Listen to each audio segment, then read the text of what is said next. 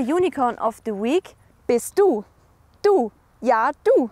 Ladies and Gentlemen, please welcome 15.000 Likes auf Facebook und fast 3.000 Besucher beim letzten Spiel. Das ist eine besondere Widmung an dich wert.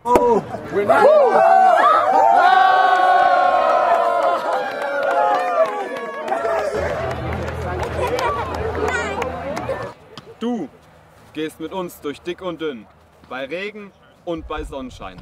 Danke. Muchas gracias.